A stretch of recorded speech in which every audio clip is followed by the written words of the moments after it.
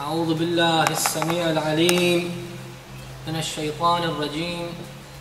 بسم الله الرحمن الرحيم. الحمد لله رب العالمين والصلاة والسلام على سيدنا ونبينا محمد وآله الطيبين الطاهرين. ولعنة الله على أعدائهم أجمعين من الآن إلى قيام يوم الدين. آمين يا رب العالمين. Darf man im Monat Ramadan während des Fastens Kaugummis kauen? Kaugummis, die ohne Geschmack sind. Ich gebe die Frage einfach weiter an Dario. Darf man das? Ich würde sagen nein. Ähm, aber Begründung weiß ich jetzt auch nicht. Vielleicht, weil. Weil? irgendwie. Ja, ich weiß, die Speicher Also man darf nicht, sagst Nee, darf nicht. du. Da, niemand? Ich glaube auch nicht. Darf nicht. Hussein? Ich kenne bestimmte Sorten, die man kauen darf, aber Okay. da weiß ich nicht. Ich glaube auch nicht, weil du produzierst halt Speichel, aber du isst halt nichts aktiv. Okay. Schwester, unter den Schwestern nehme ich einfach jetzt mal eine Schwester dran, Zainab. Nein.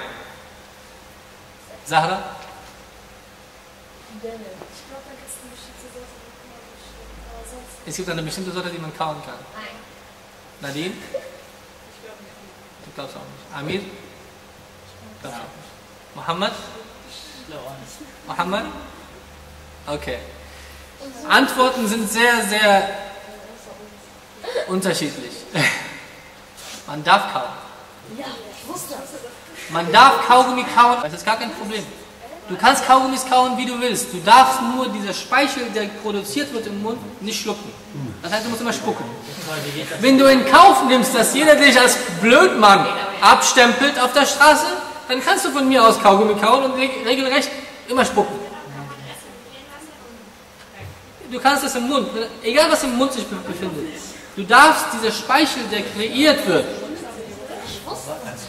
Darf ich, darf ich, darf ich um Gehör bitten? Hallo, hallo, hallo, hier spielt die Musik. Also wenn man, im, wenn, wenn man irgendwas im Mund hat, man darf diesen Speichel vom Mund nicht runterschlucken. Immer rausspucken. Das ist kein Problem. Aber warum sollte man das tun? Ich frage mich, warum sollte man dieses Kaugummi kauen? Hallo? Unnötig. Vielleicht hat jemand starken Mundgeruch und möchte diesen Mundgeruch vielleicht vermeiden. Aber bitte, wenn du Kaugummi kaust, bitte nicht schlucken, sondern rausspucken. Wie ist das dann mit Traubenzucker? Wird ja schon im Mund resorbiert. Das ist, das ist, das ist ja was anderes. Der Mediziner. Das ist ja was anderes. Alles, aber ich würde sagen, alles was im Mund bleibt, alles was im Mund bleibt, ist kein Problem.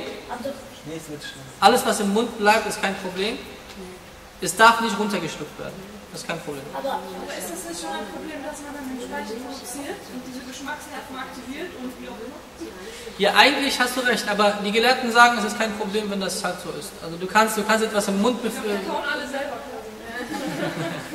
Nein, das tun sie nicht, aber es ist, die Frage ist, ist es erlaubt oder nicht, wenn du etwas im Mund hast? Du darfst es nicht runterschlucken. Angenommen, du spülst deinen Mund.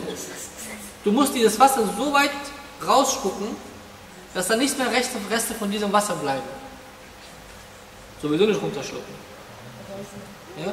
Aber die andere Sache ist, Ehepartner, sie dürfen zum Beispiel auch nicht mundlich miteinander aktiv werden, sondern weil das ist, das ist, das ist, äh, das ist auch ein Grund, das ist auch ein Grund, dass zum Beispiel verschluckt wird. Wenn es verschluckt wird, dann ist es ein Grund für die, weil du hast fremde Speichel, fremde, fremden Speichel hast du im Mund und dieser fremde Speichel wird verschluckt.